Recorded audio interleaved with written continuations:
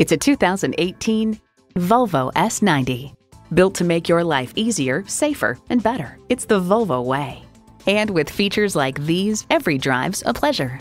Streaming audio, front heated leather bucket seats, doors and push button start proximity key, power sliding and tilting sunroof, intercooled turbo inline four cylinder engine, gas pressurized shocks, external memory control, heated steering wheel, four wheel drive, autonomous cruise control, and power heated mirrors.